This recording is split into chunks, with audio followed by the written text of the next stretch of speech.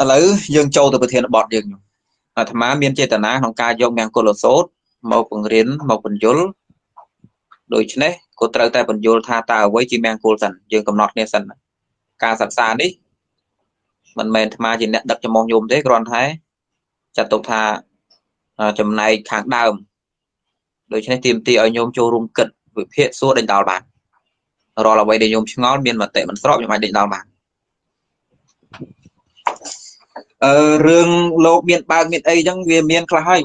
ដោយសារលោកមិនខ្វល់អំពីរឿងពុទ្ធដីកានោះណាក៏ជាតែជំនះទៅប៉ុន្តែវាមិនមែនជាច្បាប់ដែលលោកអនុញ្ញាតទេគឺជាការបំពេញរបស់លោកឥឡូវយើងត្រឡប់មកប្រធានបទខ្ញុំខ្ញុំសម្រាប់ការសម្គាល់របស់ខ្ញុំគ្រប់គ្នាខ្ញុំគិតថាមង្គលជាអ្វីប្រកបទៅមង្គលណាដែលយើងចំណាំថាមង្គលសូមឲ្យខ្ញុំបានមង្គលសុភមង្គលតែខ្ញុំកំណត់យ៉ាងម៉េចដែលហៅថាមង្គលនោះ ឥឡូវយើងកំណត់យ៉ាងម៉េចក៏យ៉ាងហ្នឹងទៅប៉ុន្តែអាត្មាលើកយកតែគោលគំនិតក្នុងពុទ្ធសាសនាតែប៉ុណ្ណោះហើយយើងមកវិភាគមើលតើវាត្រូវខុសនៅក្នុងពុទ្ធសាសនាកាលណានិយាយពីមង្គលត្រូវនិយាយពីធាតុផ្សំ3យ៉ាងទី1សម្បទានៃកាយចិត្តមកនិយាយណាយុមិញមួយខ្សែអត្តដូច្នេះមិនសារដើមទៀតទេវែងឆ្ងាយពេកប៉ុន្តែសូមរំលឹកបន្តិចដែលហៅថាសម្បទាកាយចិត្តចង់និយាយថាបើនិយាយស្រួលស្ដាប់កាយនឹងវាស្រួល ចិត្តនឹងវាអត់បញ្ហាហើយអាពីរនឹងវាប្រទីងបន្ទងគ្នាណាញោមទោះបីយើងតែនិយាយថាតែចិត្តរបស់យើងអប់រំទៅវាគ្មានបញ្ហាទេយើងនិយាយយ៉ាងក៏ដោយញោមតែកាលណាស្ថានភាពជីវិតរបស់យើងវាមិនស្រួលទេអាចចិត្តបែបនោះក៏អត់កើតដែរឧបមាថាដូចញោមធ្លាក់អណ្ដៅលាមកអញ្ចឹងណាញោមមិនអាចយកស្ថានភាពបែបនោះមកអប់រំចិត្តបានទេ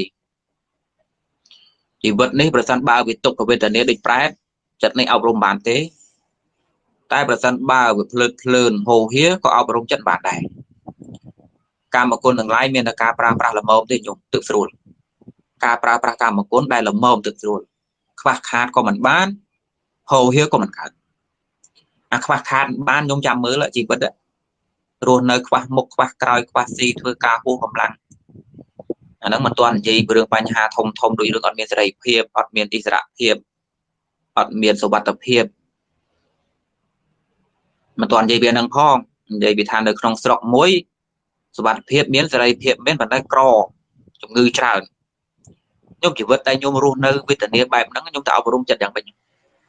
ហើយឱកាសក្នុងការសាងកុសលចិត្តឲ្យកើតឡើងឱកាសក្នុងការវឹកហាត់ចិត្តឲ្យកើតជាបញ្ញាឱកាសក្នុងការដើរតាមបដិបទាក្នុងពុទ្ធសាសនាហ្នឹងមានទេអត់មានទេ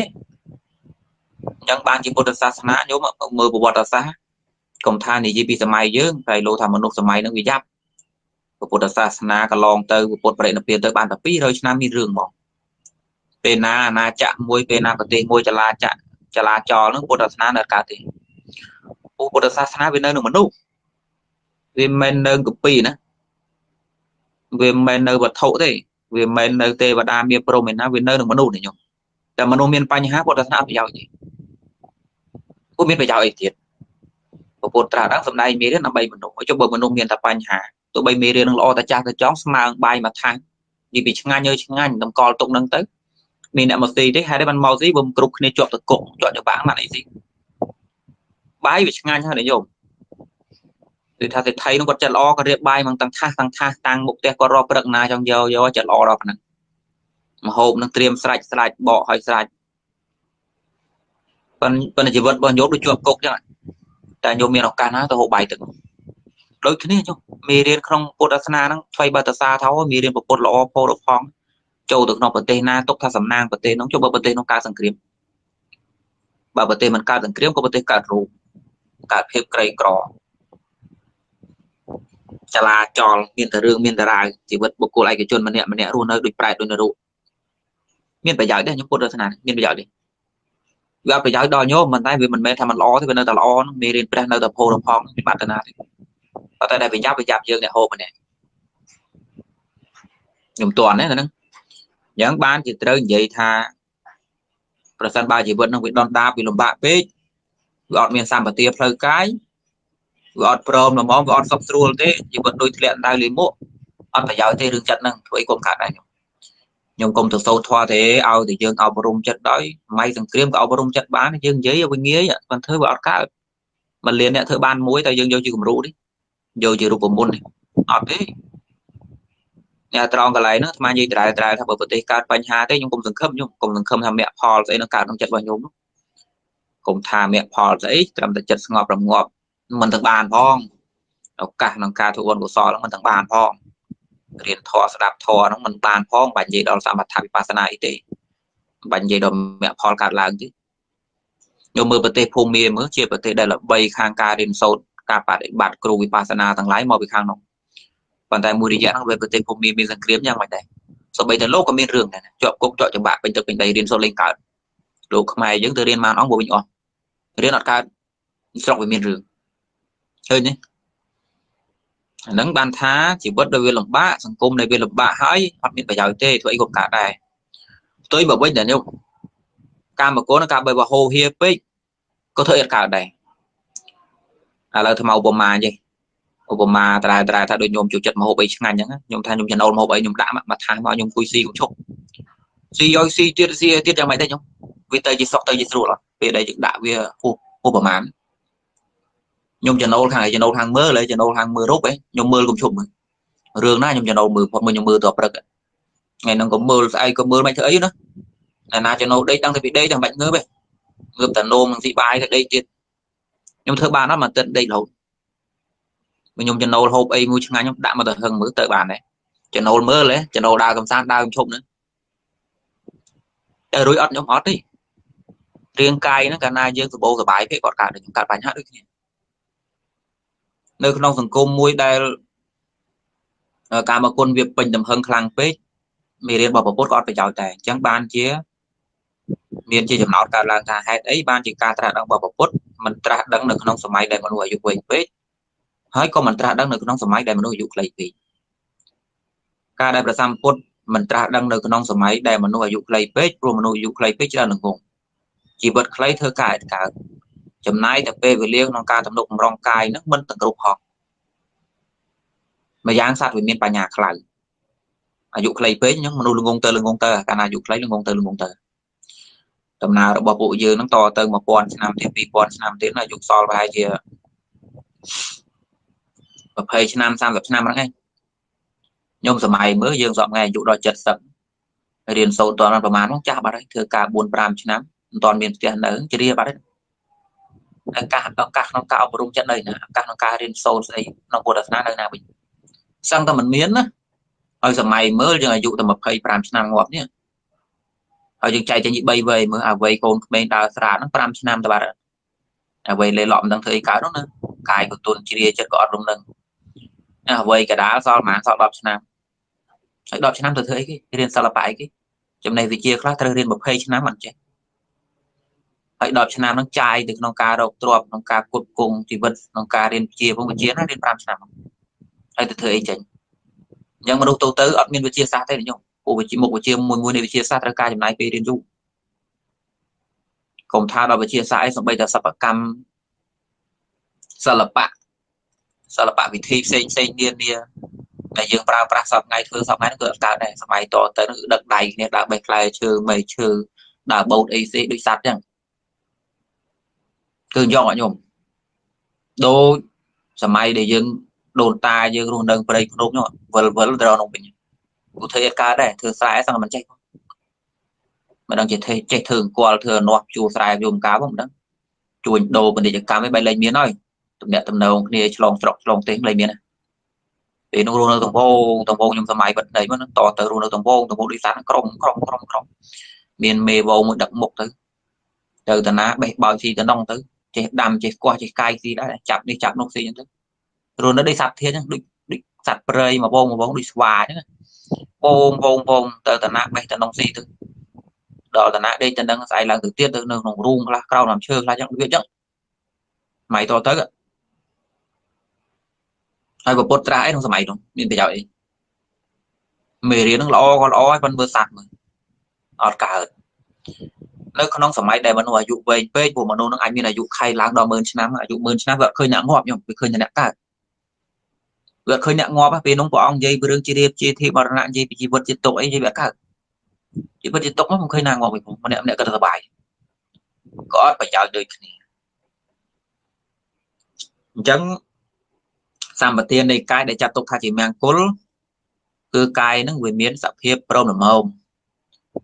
ជាមួយនឹងស្ថានភាពជាមួយនឹងបរិបទជំវិញមានស៊ីមានចុកមកល្មមមានឱកាសដើរហើរសុខភាពមកល្មមកន្លែងរស់នៅមកល្មមអាកាសធាតុមកល្មមដៅថ្ងៃពន្លឺទឹកខ្យល់បាយទឹកនោះចំណីសុខភាពសេរីភាពមកល្មមខ្ញុំហូរហៀក៏មិនកើតខ្វះខាតក៏មិនបានសម្បទាននៃរាងកាយចាត់ទុកថាជាមង្គលផ្នែកកាយអញ្ចឹងបើជីវិតរបស់ខ្ញុំរស់នៅដូចប្រែទេអានោះខ្ញុំត្រួតមើលខ្លួនឯងទៅមានមង្គលទេ ទោះបីពុទ្ធសាសនាក៏ដោយខ្ញុំទៅរៀនធម៌ក៏ដោយខ្ញុំគេចាប់ខ្ញុំចូលវត្តរៀនធម៌អញ្ចឹងបើខ្ញុំមានមង្គលអត់ពេលដែលខ្ញុំក្រពេលដែលខ្ញុំក្រលហាមអញ្ចឹងមានពេលគេហៅចូលរៀនធម៌រៀនអាអប់រំចិត្តអីប៉ុន្តែរួចទេកើតមង្គលគេទេអត់ទេខ្ញុំអត់កើតមង្គលទេទុយមកវិញជីវិតអ្នកមានអភិជនដែលកើតការប្រមាថសបាយក្នុងកាមគុណក៏អត់កើតមង្គលដែរមាននាំទៅទុកទោសមកវិញទេវាពុលទៅវិញអានោះគាត់កើតមង្គលដែរ ដល់ពេលសម្បទាផ្លូវចិត្តវាពាក់ព័ន្ធនឹងសម្បទាផ្លូវកាយបើកាយនឹងពិបាកទេការអប់រំចិត្តឲ្យសុខឲ្យស្រួលក៏ពិបាកដែរផ្លូវចិត្តដែលចេះព្រមល្មមត្រេកអរចំពោះរបស់ដែលខ្លួនមានចេះរស់ជាមួយនឹងអារម្មណ៍ដែលកំពុងតែប្រកបឡើងអានឹងជាសម្បទានៃផ្លូវចិត្តហើយជាមង្គលនៃចិត្តហើយអ្នកក្រក៏អាចធ្វើបានអ្នកមានអាចធ្វើបានវាមិនមែនថាតើខ្ញុំកើតសិទ្ធិបានមង្គលផ្លូវចិត្តកើតទេខ្ញុំ มันខ្វះទេសង្គមសពថ្ងៃអ្នកមានទ្រព្យអភិជនឆ្លុះគ្នាតែញឹកជាពិសេសរឿងប្តីប្រពន្ធលែងលះគ្នាប្តីមានស្រីខ្ញុំដឹងខ្លាចណាខ្ញុំអ្នកមានតែមានមិនដែរខ្ញុំពាក់ខ្សែកមាសនឹងជួយបានទេ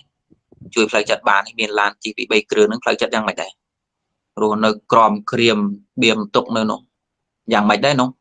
ថាវាខ្វះសម្បទាផ្លូវចិត្តនោះ ទុយមកវិញអ្នកក្រខ្លះទៅបីថាមានសុភមង្គលរឿងក្រុមគ្រួសារមិនបែកមិនបាក់គ្នាប៉ុន្តែដល់ពេលកាយនឹងកើតបញ្ហាពេកលូកគ្នាទៀតអញ្ចឹងត្រូវឲ្យច្បាស់ថាពីរនឹងវាពាក់ព័ន្ធគ្នាខ្ញុំដូច្នេះនិយាយទៅនិយាយមកថាបើញោមមិនខ្វល់ខ្វាយក្នុងការរៀបចំផ្ទះឬប្រទេសទាំងមូលទេកុំសង្ឃឹមថាផ្លូវចិត្តនឹងមានសុភមង្គលសោះស្មើនិយាយអញ្ចឹងនិយាយនឹងមិននិយាយដាក់ញោមនិយាយទាំងអស់គ្នាដើម្បីតែលោករួមសុខដែរទៀតឲ្យតែប្រទេសកើតបញ្ហាលោកក៏រត់សុខដែរគ្មានទេសុភមង្គលផ្លូវចិត្ត បើកាយនេះមានបញ្ហាហើយបើផ្ទះនេះមានបញ្ហាសុភមង្គលផ្លូវចិត្តអត់កើតទេឥឡូវយើងចប់ប៉ុណ្ណឹងចប់តកតងរឿងចំណុចទី1ហ្នឹងអាត្មានិយាយមួយខ្សែអត់ហើយមួយសារទេនៅក្នុងពុទ្ធសាសនាលោកកំណត់វិបែកទៀតថាដែលហៅថាសុភមង្គលផ្លូវចិត្តគឺផ្លូវចិត្តហ្នឹងសម្បូរដោយកុសលធម៌ខ្ញុំចាំមើលយើងយកមង្គលសូត្រហ្នឹងមកសិក្សាណាតទៅហ្នឹងមិនថាមង្គលណាក៏ដោយលោកនិយាយទៅនិយាយមកនិយាយទៅរឿងកុសលធម៌ តើក្រៅមូលហេតុអីបានជាលោកកំណត់ថាចិត្តដែលដកដាលដោយកុសលធម៌នឹងជាមង្គលព្រោះកុសលធម៌វាផ្ដល់អានិសង្សជាបច្ចុប្បន្នភាពផងខ្ញុំស្គាល់ណាបច្ចុប្បន្នភាពគឺអ្វីគឺជីវិតជាក់ស្ដែងនេះវាផ្ដល់នៅអានិសង្សក្នុងបរលោកផងផ្ទុយមកវិញប្រសិនបើនៅក្នុងជីវិតរបស់ញោមម្នាក់ម្នាក់ដោះដល់ដោះដាលឲ្យអកុសលខ្លាំងជីវិតនឹងមិនជាមង្គលទេញោម ញោមមើលឥឡូវយើងនិយាយអស់បើនិយាយពីស្រុកយើងយើងនិយាយសង្គមតិចណាចូលរឿងសង្គមតិចបើយើងនិយាយពីស្រុកយើងនិយាយពីទឹកដីទឹកដីយើងមិនធំទេប៉ុន្តែវាល្មមសម្រាប់ជាជនពួកប្រជាជនយើងមិនច្រើនទេទឹកដីយើងជាទឹកដីដែលសម្បូរដោយធនធានបើប្រៀបជាមួយប្រទេសផ្សេងផ្សេងទោះបីក្នុងពេលឥឡូវក៏ដោយកុំនិយាយពីមុនយើងស្ដាយនិយាយតែឥឡូវក៏បានដែរមិនថានៅក្នុងទឹក មិនថាលើគោកមិនថាក្នុងដីបើនិយាយអំពីអាកាសធាតុយើងក៏សំរុំជាងគេបងអស់ណាគេកើតអីកើតព្យុះកើតអីយើងមិនដែរទេមានតិចតួចណាទឹកចំនួនអីមានខ្លះដែរតែវាមិនដល់លិចលោកទេពុំទៅឈួតជាមួយនឹងវងឈួតនឹងលិចលោកអីវាវាមានទេអត់បើយើងនិយាយអំពីធនធានដែលដូនតាបសល់ឲ្យដូចជាមរតកវប្បធម៌អញ្ចឹងយើងក៏សម្បូរដែរมันអន់ទេ មែនទេប៉ុន្តែខ្ញុំហេតុអីបានជាហេតុអីបានជាយើងមិនបានស្មើប្រហែលថៃជាដើមហេតុអីបានយើងមិនបានស្មើប្រហែលនៅប្រទេសណាកុំហ៊ានប្រៀបជាមួយប្រទេសគេល្អពេកណាត្រឹមថៃវាចុះមិនគឺយើងនៅតែយ៉ាប់ជាងគេចឹងវាមិនយ៉ាប់ទាំងអស់ប៉ុន្តែវានៅតែយ៉ាប់ទទួលស្គាល់ថាអញ្ចឹងវានៅតែយ៉ាប់អញ្ចឹងហើយបានយើងមិនបានផែគេបើគេយ៉ាប់ជាងយើងផងញោមอ่ะដោយសារអីដោយសារ អានឹងបើយើងបន្ទោសទៅដូចជាមិនមិនទទួលខុសត្រូវឬខ្លួនឯងណាយើងបន្ទោសតែអ្នកដឹកនាំយើងថាមកអំពីរបបគ្រប់គ្រងមួយដែលមានអ្នកដឹកនាំហ្នឹងផ្លូវចិត្តរបស់ពួកគេនឹងមិនមែនដោះដាលដោយកុសលធម៌ខ្ញុំមិនដាល់វិបត្តិទាំងអស់នៅក្នុងប្រទេសលើលោកនេះវិបត្តិធំធំជាពិសេសក្នុងស្រុកខ្មែរនោះមាន5វិបត្តិខ្ញុំពិចារណាមើលចោះអាត្មាមើលអាត្មាលើស្ដាប់ណាទី1វិបត្តិទិដ្ឋិវិបត្តិទិដ្ឋិធ្វើឲ្យមនុស្សវិបត្តិគុណធម៌ ព្រោះមនុស្សនឹងទៅអាក្រក់ឬល្អពាក់ព័ន្ធនឹងគំនិតពាក់ព័ន្ធនឹងផ្លូវចិត្តការយកឃើញមនុស្សធ្លាប់តែល្អក៏ដោយតែមិនឆាតធិចូលទៅទៅជាអាក្រក់ជួជាតិគឺអញ្ចឹង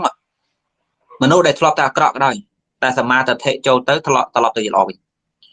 អញ្ចឹងបើវិបត្តិទិនាំឲ្យវិបត្តិគុណធម៌វាពាក់ព័ន្ធគ្នាអញ្ចឹងហើយមនុស្សវិបត្តិគុណធម៌បើមនុស្សជាអ្នកគ្រប់គ្រងផងជាស្ដេចជាមន្ត្រីយ៉ាងម៉េចវិញមនុស្សដែលមានអំណាចលើច្បាប់ផង បើវិបត្តិគុណធម៌ផ្លូវចិត្តយ៉ាងម៉េចដែរវិបត្តិគុណធម៌នាំឲ្យវិបត្តិនយោបាយនយោបាយគឺជាក្បួនវិធីក្នុងការរៀបចំប្រទេសឲ្យវាបានសុខដល់ពេលអ្នករៀបចំហ្នឹងចិត្តកំណត់មិនល្អអញ្ចឹងរៀបទៅវាអត់ត្រូវទេរៀបទៅវាមានតែរឿងហ្នឹងវិបត្តិនយោបាយនាំឲ្យវិបត្តិអីវិបត្តិនយោបាយនាំឲ្យវិបត្តិផ្នែកសេដ្ឋកិច្ចអាស៊ីចុកនេះរស់នៅវាពិបាក វាស្មើភាពវិបត្តិនោះវាកេងវាបបាញ់វាមានរឿងវិបត្តិសេដ្ឋកិច្ចនាំឲ្យវិបត្តិការសិក្សាអប់រំពលរដ្ឋល្ងងទៅល្ងងទៅរឹតទៅទុនទៅទុនទៅអ្នកទាំងអស់ហ្នឹងបើសរុបទៅសរុបមកវាពាក់ព័ន្ធគ្នាហើយវាពាក់ព័ន្ធរឿងទិដ្ឋិបណ្ដាលវិបត្តិទាំង5យ៉ាងហ្នឹងខ្ញុំមានចាប់អារម្មណ៍ត្រង់កន្លែងពាក្យថាគុណធម៌មានន័យថាក្នុងផ្លូវចិត្តហ្នឹងវាដុះដោយកុសលអញ្ចឹងពុទ្ធសាសនាកំណត់ត្រូវណាថាជីវិតដែលជាមង្គលផ្លូវចិត្តដែលជាមង្គលលុះតែផ្លូវចិត្តហ្នឹងជាកុសលធម៌ វាសម្បូរដោយកុសលធម៌ហើយបើយើងសួរថាដើម្បីធ្វើឲ្យប្រទេសមួយកើតទៅជាមង្គលតើត្រូវការកុសលធម៌ប្រមាណគឺថាត្រូវការកុសលធម៌ហ្នឹង90%បើថាញោមមនុស្សល្អខ្ញុំល្អតែញោមមួយហ្នឹងប៉ុន្តែអាក្រក់ជួជាតិមកប្រទេសមិនបានសុខល្អតែ100នាក់ទៅអាក្រក់1លាននាក់អីចឹងទៅអញ្ចឹងវាតតែផ្លូវចិត្តនៃពលរដ្ឋខ្មែរហ្នឹងដោដាដោយកុសលធម៌ហ្នឹង80%ឡើងទៅឬមកដល់ប៉ុណ្ណឹង70%ចឹងចុះ មិនបាន70ក៏50ដែរស្មើស្មើប៉ុណ្ណឹងក៏ទៅទៅរួចពុទ្ធសាសនាហ្នឹងបានកំណត់ថាមង្គលផ្លូវចិត្តគឺជាផ្លូវចិត្តដែលដកដាលលើកុសលធម៌ញោមសាកសម័យប្រសិនបើមិនថារាជសាមញ្ញធម្មតាមិនថាមន្ត្រីរាជការមិនថាសាមញ្ញជនទូទៅនិស្សិតបញ្ញវន្តពិខុសង្ឃអីក៏ដោយប្រសិនបើខ្មែរយើង70% ផ្លូវចិត្តសម្បូរដោយកុសលធម៌តាស្រុកយើងមានរឿងទោះបីការដឹកនាំនឹងជាដឹកនាំបែបកុម្មុយនីសក៏ដោយដឹកនាំបែបសេរីក៏ដោយដឹកនាំបែបប្រជាបតៃពេញទីដោយរាជានិយមអីក៏ដោយរាជានិយមផ្ដាច់ការដោយរាជារាជានិយមផ្ដាច់ការដោយរាជានិយមអាស្រ័យរដ្ឋធម្មនុញ្ញអីក៏ដោយមិនថាតម្រងណាក៏ដោយខ្ញុំឲ្យតែពលរដ្ឋដោយច្រើននឹងចិត្តល្អហើយគឺវាគឺវាមិនសូវមានបញ្ហាទេ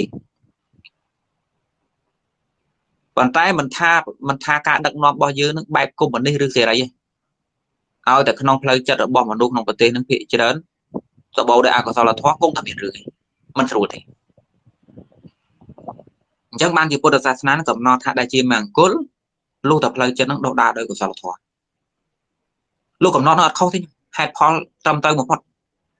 ព្រោះបើយើងទៅរកថាស្អីជាមង្គលទៅយើងមិនដឹងរកស្អីប្រកបស្អីទៅជាមង្គលសបោសេជាមង្គលទេក្រែងញោមអ្នកមានសបោហូបហើយញោមមានខ្វះឯណាប៉ុន្តែកើតមង្គលទេញោម បើយើងកំណត់តែមួយយ៉ាងថាឧទាហរណ៍ណាដែលហៅថាមង្គលសម្រាប់ខ្ញុំខ្ញុំយល់ឃើញថាឲ្យយើងជីវិតជោគជ័យស៊ីមអស់ឲ្យតែស៊ីមអស់ឲ្យគាត់អានឹងមង្គលញោមទៅចូលអ្នកមានខ្លះហ្នឹងក្រែងគាត់ស៊ីមអស់ទៅតែគាត់មង្គលនោះសារភាពតិចមើលញោមដែលមិនខ្វះហូបមិនខ្វះចាយលុយយកតាណាអស់ណាឡាន4 5គ្រឿងផ្ទះធំធំអីចឹងសង្ឃថាមិនធ្វើការក៏រស់បានដែរ100ឆ្នាំប៉ុន្តែខ្ញុំប្រកាសឲ្យផ្លូវចិត្តរបស់ខ្ញុំកាត់មែនគោលក្នុងជីវិតនឹងសុខអត់ទេ ចុះអ្នកក្រអ្នកក្រដែលលះហាមង្គលទេអត់ទេអញ្ចឹងអបបាក់នោះក៏អត់មង្គលអាហូហេក៏អត់មង្គលដែរល្មមទៅកើតមង្គលហើយអាល្មមផ្លូវកាយល្មមផ្លូវចិត្តហ្នឹងប្រសិនបើប្រទេសហ្នឹងណាពលរដ្ឋនឹងរស់នៅសាមញ្ញរស់នៅស្រួលរស់នៅមិនខ្វះមុខមិនខ្វះក្រោយរស់នៅមកសមរម្យប្រទេសជីនីទៅរដ្ឋឲ្យក៏ដោយ ប៉ុន្តែទៅយូរយូរទៅក្នុងផ្លូវចិត្តរបស់សត្វនឹងដោដាលឲ្យកុសលធម៌អានីតិរដ្ឋហ្នឹងវាលែងទៅជានីតិរដ្ឋហើយវាទៅជារដ្ឋវាទៅជាពលរដ្ឋរត់ចោលប្រទេសហើយវាលែងទៅជានីតិរដ្ឋនីតិរដ្ឋក៏ដោយខ្ញុំឲ្យតែយើងប្រហែសឲ្យតែផ្លូវចិត្តរបស់សត្វក្នុងប្រទេសនឹងភាគរយដោយច្រើនកើតអកុសលធម៌ច្រើនគង់តែមានរឿងនេះត្រឡប់តលិនទៅជាប្រទេសផ្ដាច់ការនិយមទៅជាប្រទេសមានរឿងដូចតែដូច អញ្ចឹងបានជាពុទ្ធសាសនាលោកកំណត់មិនខុសទេផ្លូវចិត្តដែលដោដាលឲ្យកុសលធម៌ទើបជាមង្គលប៉ុន្តែភាកច្រើនមនុស្សយើងទទួលយកតែចំណុចទី1ទេសម្បទានៃកាយនិងចិត្តគឺជាមង្គលចិត្តមិនចិត្តមិនមានបញ្ហាកាយស្រួលហ្នឹងមង្គលមានស៊ីមានចុកសំរុំមានសមត្ថភាពរស់នៅ មានសេរីភាពថ្លៃថ្នូរត្រឹមត្រូវមានយុត្តិធម៌ហ្នឹងគេថាប្រទេសកើតមង្គលហើយប៉ុន្តែមនុស្សមិនខ្វល់ថា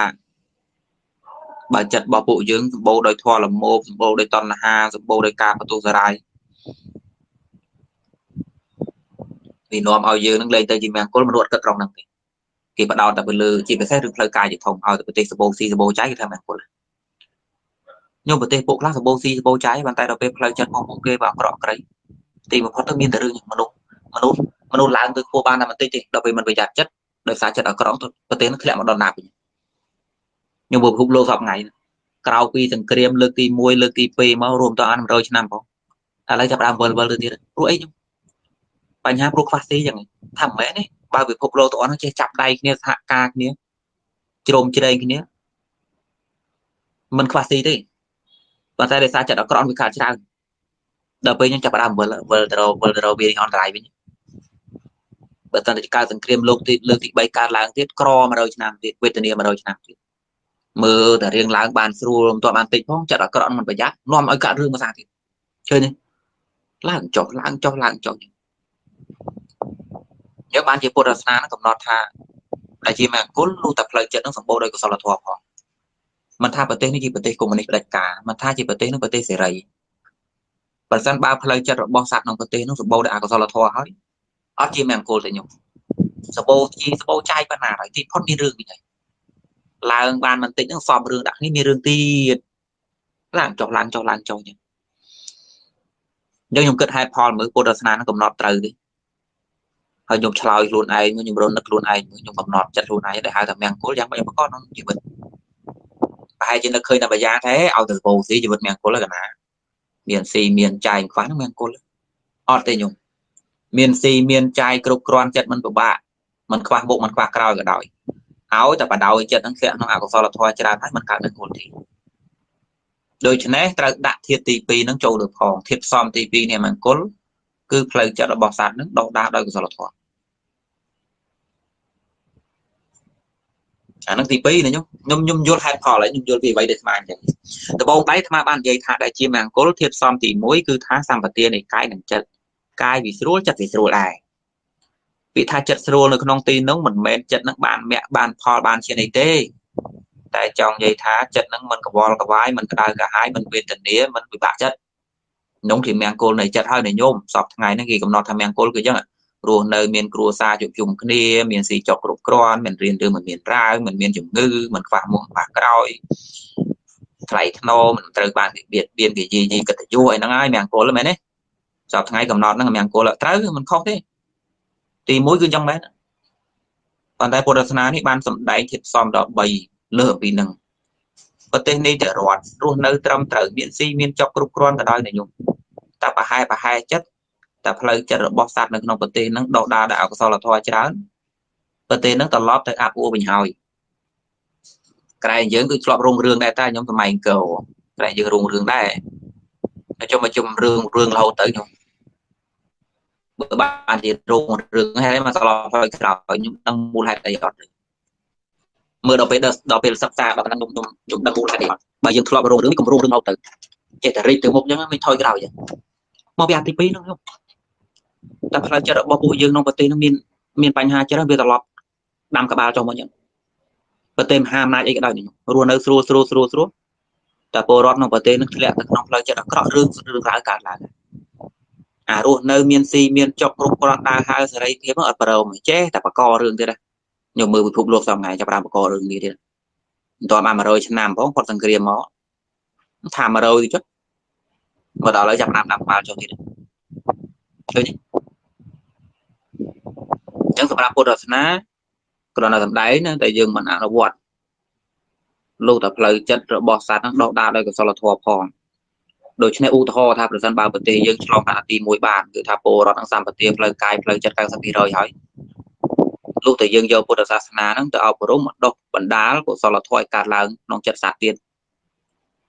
ទើបមង្គលនឹងវាកើតដល់ប្រទេសនឹងបានយូរទោះបីថាប្រទេសយើងនឹងនៅតែដឹកនាំរបៀបដូចគណៈពុកបនិយមក៏ដោយដឹកនាំបែបសេរីដឹកនាំបែបនីតិរដ្ឋពេញលេញក៏ដោយ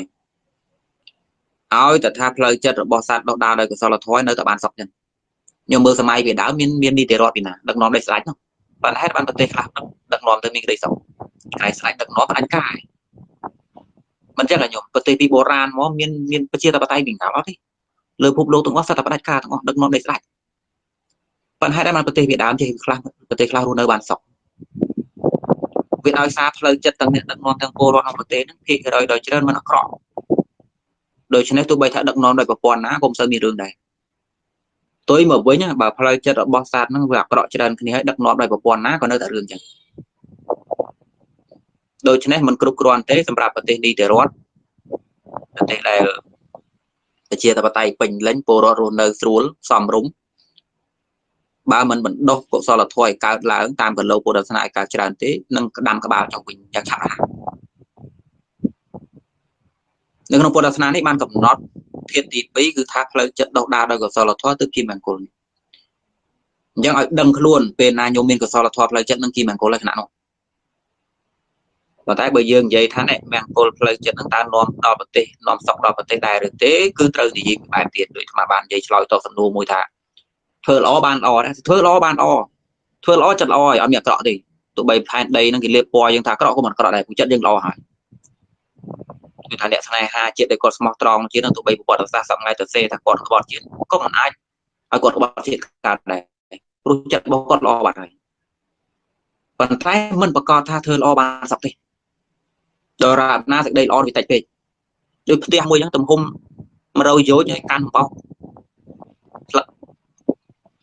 ថ្នោតមួយអង្គុយបោកតែម្នាក់ឯងហ្នឹងបានស្អាតពីណាផ្ទះសុកពីណាវាមិនឈ្នះ ញោមចិត្តល្អមែនតែល្អល្អក្នុងកម្រិតទៀតនឹងចិត្តល្អបៀតបៀនគេចិត្តល្អរករឿងគេចិត្តល្អជើសិទ្ធមានរឿងចិត្តល្អត្រង់ថាងាយនឹងលើកលែងកំហុសគេអនុគ្រោះគេអញ្ចឹងវាល្អមែនប៉ុន្តែល្អហ្នឹងមិនធានាបានសុខទេព្រោះល្អប្រភេទហ្នឹងវាអត់គ្រប់គ្រាន់ឲ្យប្រទេសបានសុខទេតោះនេះប្រទេសវាអត់សុខខ្ញុំក៏វាអត់សុខដែរព្រោះខ្ញុំមិននៅលើមេឃនៅលើប្រទេសដូច្នេះបាននិយាយអាត្មានិយាយថាធ្វើល្អគឺល្អហើយកុំភ័យរឿងល្អបានល្អព្រោះវាល្អហើយ តែចិត្តយើងល្អល្អណាណាគេទៅធ្វើមិនទៅកែបានណាប៉ុន្តែធ្វើល្អមិនធានាថាបានសុខទេបើធ្វើមិនត្រូវទី1ធ្វើតិចពេកទី2ធ្វើមិនត្រូវក្បួនទី3ធ្វើមិនត្រូវកលៈទេសៈគឺបានសុខទេគូថាថាញោមក្នុងក្រុមញោមចិត្តល្អចុះញោមក្នុងក្រុមនឹងញោមណាខ្លះទេកណាចិត្តល្អកណាមនុស្សកាន់សិលកាន់អាកាន់ធម៌មនុស្សសុចរិតចេះបោកប្រាស់ណាមិនចេះចង់បានណាចង់តែជួយគេចង់មានតែស្អីខ្ញុំស្ទើរតែកុសលធម៌ហើយនោះ ប៉ុន្តែពេលខ្ញុំនៅក្នុងប្រទេសខ្ញុំអត់រវល់រៀបចំវាធ្វើបានសពអត់នៅតែមានរឿងអ្នកខ្លះគាត់ឆ្ងល់ថាពុទ្ធតែងពោលថាមិនធ្វើល្អបានល្អមនុស្សធ្វើអាក្រក់បានអាក្រក់ប៉ុន្តែឃើញថាពួកអាក្រក់ទេចម្រើនពួកល្អមានតែរឿងថាពួកល្អវាភ្លើពេកវាធ្វើវាអត់ត្រូវវាល្អតែចិត្តហ្នឹងវាធ្វើមិនត្រូវណាវាធ្វើតិចពេកគឺថាបន្ទុកមួយស្អុយងោងខ្ញុំបាញ់ទឹកអប់បានតែមួយឈៀតហ្នឹងវាមិនក្អោបកើត បន្ទាប់បាញ់ឲ្យពេញហ្នឹងណាដូចគ្នាដែរពើល្អតធ្វើវាច្រើនពីប្រទេសតែមួយពីរលឹបលោលឹបលោនោះថាល្អតែក្នុងចិត្តលឹបលោលឹបលោមិនចេញសកម្មភាពមកក្រៅផងគឺបានសង្គមឯណាឲ្យសុខស្រួលនោះចិត្តល្អរបស់ញោមដូចដូចដូចសัตว์ពូនក្នុងរុំអញ្ចឹងលឹបលោលឹបលោនៅក្នុងនោះល្អក្នុងកម្រិតទៀតល្អរឿងររឿងគេល្អមិនចង់បានរបស់ណាល្អរស់នៅអញ្ចឹងប៉ះពាល់របស់គេវាល្អអញ្ចឹងល្អមែនចិត្តនឹងល្អមែនពួកសល់អាចកើតមែន ប៉ុន្តែប្រទេសអត់បានសុខទេព្រោះល្អលឹបលោវាតិចពេកតោះនេះញោមនៅក្នុងពុទ្ធសាសនាលោកកំណត់ធាតុទី3ដែលហៅថាមង្គលផ្លូវចិត្តលុះតែចិត្តនឹងភ្លឺស្វាងដោយបញ្ញាព្រោះហេតុអីបានយកបើនិយាយឲ្យស៊ីជម្រៅនៅក្នុងពុទ្ធសាសនាទៅ ដរាបណា នៅមានការកើតឡើងវាតែងប្រទះជាមួយនឹងក្តីទុកជាធម្មតាដែលអាត្មាធ្លាប់បរិយាញោមស្ដាប់ណាទុកប្រភេទពួកខ្លះគឺទុកដែលកើតឡើងដោយធម្មជាតិទុកប្រភេទពួកខ្លះគឺទុកដែលកើតឡើងព្រោះប្រយោគវិបត្តិទុកប្រភេទពួកខ្លះគឺទុកវាកើតឡើងទៅតាមកាលសម័យនៃធម្មជាតិឧទាហរណ៍ស្អីខ្លះទុកដែលកើតឡើងពីធម្មជាតិនេះញោមយើងកើតមកពីធម្មតាទេ វាមិនផុតអំពីត្រៃលក្ខនោះដូច្នេះវាត្រូវចូលនៅក្នុងលក្ខខណ្ឌគឺការបែកធ្លាយហើយមុននឹងបែកធ្លាយវាត្រូវប្រត់អញ្ចឹងអាប្រត់អាចាស់អាឈឺអាស្លាប់អ្វីប្រែប្រួលហ្នឹងសត្វតែក្តីទុករបស់ញោមឯនេះមានណាគេសบายចិត្តទេចាស់ទៅចាស់ទៅឈឺទៅឈឺទៅប្រត់ម្ដងមួយម្ដងមួយសត្វតែទុកអីមែននេះប៉ុន្តែសួរកិច្ចបានហ្នឹងអាហ្នឹងគេហៅទុកតាមដំណើរធម្មជាតិព្រះគុំឈ្នះដែរនេះយើងកើតមកមានទុកនឹងស្រាច់មកឲ្យតែកើតមានទុកហ្នឹងបើប្រភេទទៀត ទុកកើតព្រោះល្ងងល្ងងយ៉ាងម៉េចទៅខ្ញុំព្រោះប្រយោគវិបត្តិរស់នៅចាត់ចែងកាយចាត់ចែងប្រទេសវាអត់ស្រួលទៅមានតែរឿង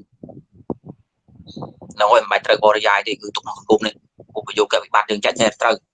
មានព្រះមានប្រអិនណាមករៀបចំយើងនេះគ្មានកម្មឯណាមករៀបចំមកវាឯងរៀបចំនឹងមកទុកព្រោះប្រយោគវិបត្តិទុកមួយទៀតទុកព្រោះធម្មជាតិប្រែប្រួលខ្ញុំតាមកាលសម័យសូម្បីតែផែនដីក៏វាមានចំណាស់វាមានវាមានការកកើតថ្មីវាចាស់ទៅវិញដែរ ដូចគ្នាយើងរស់នៅលើផែនដីធម្មតាធម្មជាតិវាប្រែប្រួលមានព្យុះមានភ្លៀងក្តៅទៅក្តៅទៅស្ងួតទៅស្ងួតទៅដែនដីនឹងវាខ្សោះជាតិភោគផលលែងសូវកើតសត្វខ្វះខាតកាយចេះតែតូចអាយុចេះតែខ្លីបញ្ញាចេះតែខ្សោយអានោះទុកតាមសភាពធម្មជាតិដែលវាត្រូវតែអញ្ចឹង3ប្រភេទហ្នឹងធំធំប៉ុន្តែយើងបាច់ខ្វល់ទេអាទី3ហ្នឹងយើងខ្វល់មើលអាទីអាទី2ជាពិសេសអាទី2ដោយសារការរៀបចំរបស់យើងវាអត់ត្រូវមានរឿង ខ្ញុំដរាបណានៅមានការកើតគឺតែមានក្តីទុកជាធម្មតាដូច្នេះក្តីទុកមិនចាត់ទុកថាជាមង្គលទេព្រោះថាណាមានទុកវាជាមង្គលមង្គលវាត្រូវផ្ទុយពីទុកឯងបើវាទុកមិនបានមង្គលអូតើបើខ្ញុំព្រាត់កូនហ្នឹងកូនស្លាប់មង្គលទេខ្ញុំព្រាត់ប្តីមង្គលអត់ប្តីកំពុងស្រឡាញ់ទៅលបោទៅបាត់ទៅមង្គលទេចិត្តហ្នឹងអត់ទេធ្លាប់តែក្មេងក្មេងហ្នឹងចាស់ទៅចាស់ទៅត្រុតត្រោមទៅឈឺទៅឈឺទៅដើរលេងរួចហ្នឹងមង្គលទេអត់ទេ ដូច្នេះក្តីទុកមិនមែនជាមង្គលទេសម្រាប់ពុទ្ធសាសនាព្រះពុទ្ធជាម្ចាស់ជាគ្រូនៃយើងប្រងបានកំណត់ថាដរាបណានៅមានការកើតមិនមែនព្រះអង្គអ្នកដាក់ណាប៉ុន្តែព្រះអង្គសម្ដែងតាមធម្មជាតិទេក្តីទុកវាតែមានជាធម្មតាដូច្នេះប្រសិនបើទុកនៅតែមានទេនឹងរាប់ថាជាមង្គលកើតទេ អញ្ចឹងដែលទៅជាមង្គលដែលកំណត់ថាជាមង្គលលុះតែផ្លូវចិត្តនឹងដោះដាលដោយបញ្ញាហើយយកបញ្ញាហ្នឹងទៅរំលត់ការកើតផ្ដើមចេញពីសភាពបញ្ញាកម្រិតលោកីរហូតដល់កម្រិតបញ្ញាក្នុងលោកត្រៈដោះស្រាយទុកបន្តិចម្ដងបន្តិចម្ដងបន្តិចម្ដងបញ្ញាលោកីយកមកដោះស្រាយក្នុងជីវិតលោកី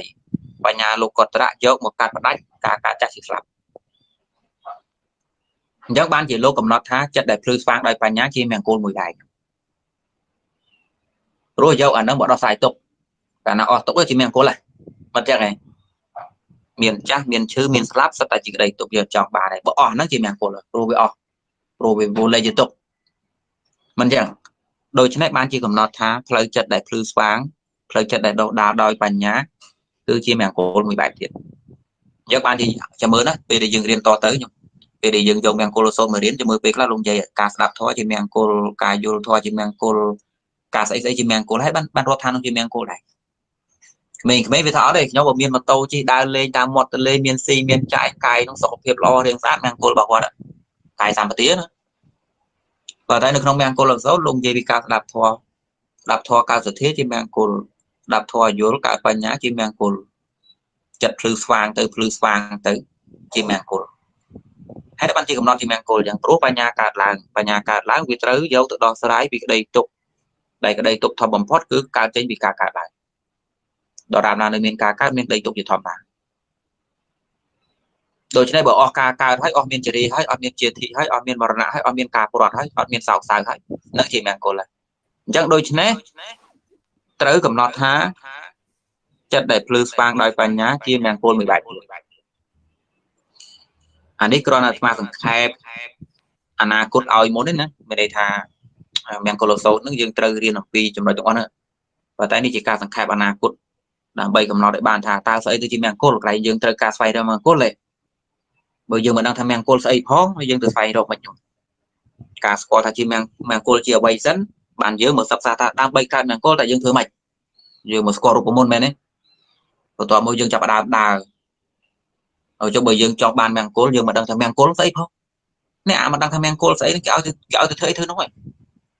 គេឲ្យទៅស៊ីស្លាស៊ីស្លាស៊ីមលូស៊ីមលូគេថាអ្នកមកអោនក្បាលមកដាក់3អំបោស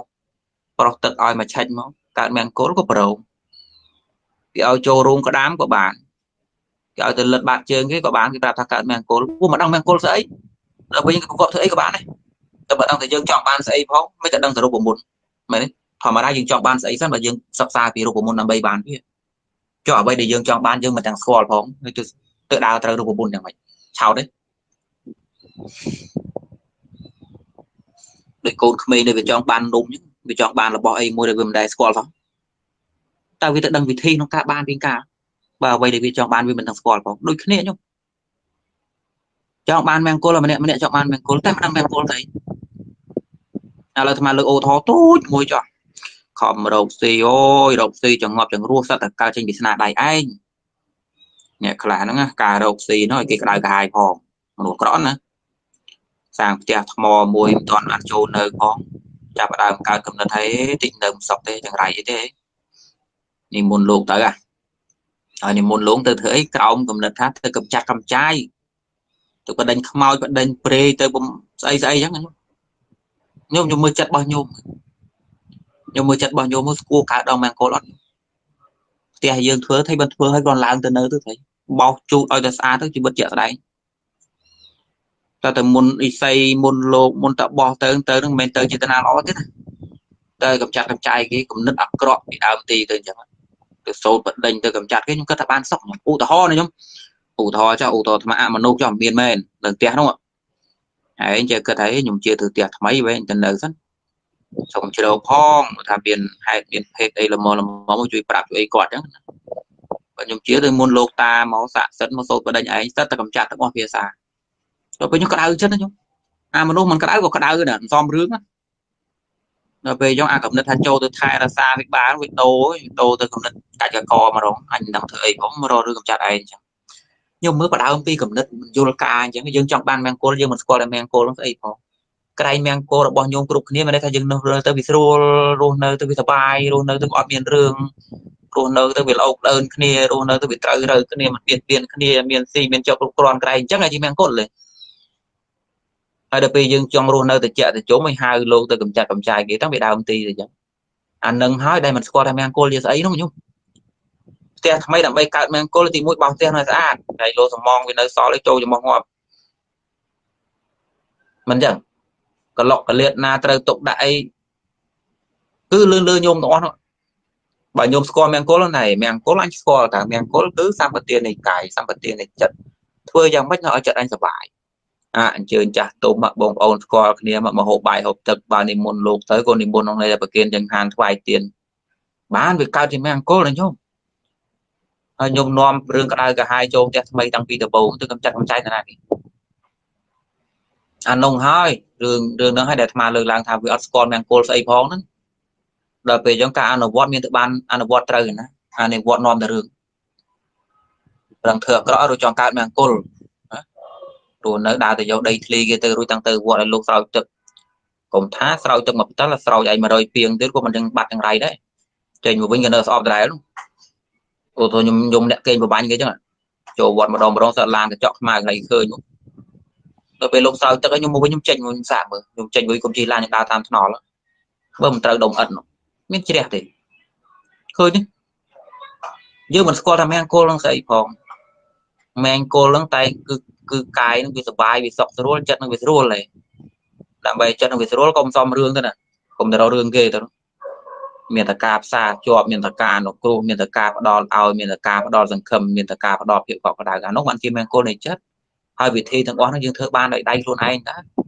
ផ្ទះថ្មីនោះដើម្បីឲ្យកើតសតិមង្គលគឺថាទៅប្រតិបត្តិយ៉ាងម៉េចមួយអ្នកចិត្តខាងនោះ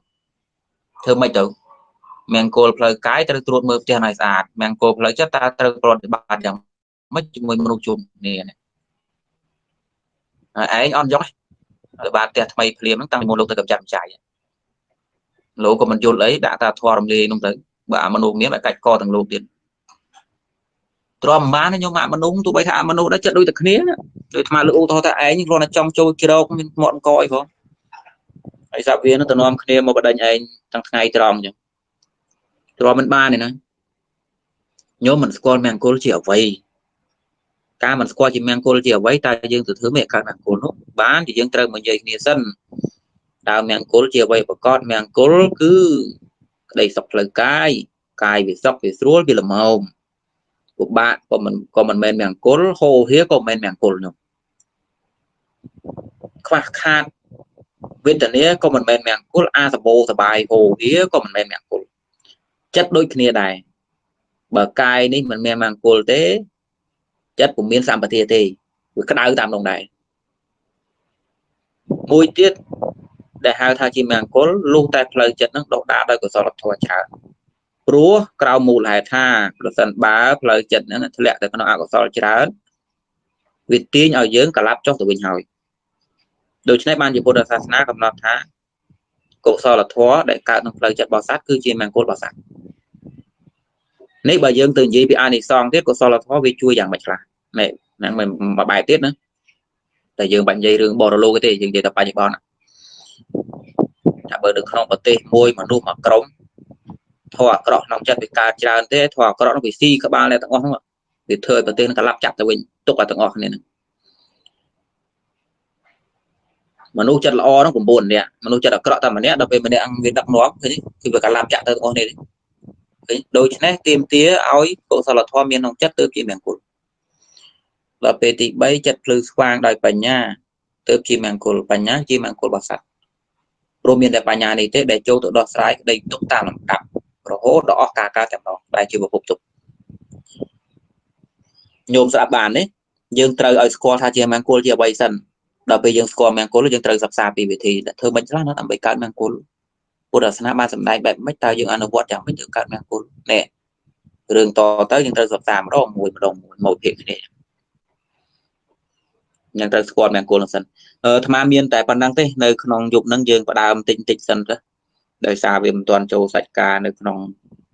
មង្គលសោហ្នឹងទេអាត្មាគ្រាន់តែវិភាគនិយាយបញ្យលញោមខ្លះខ្លះឲ្យញោមមកដឹងណាឥឡូវយើងប៉ុណ្្នឹងចុះញោមថ្ងៃនេះខ្លីប៉ុណ្្នឹងចុះចាំស្អែកយើងតទៀត ថ្វាយបង្គំលាលោកចាស់គ្រប់អង្គបានពលលាញោម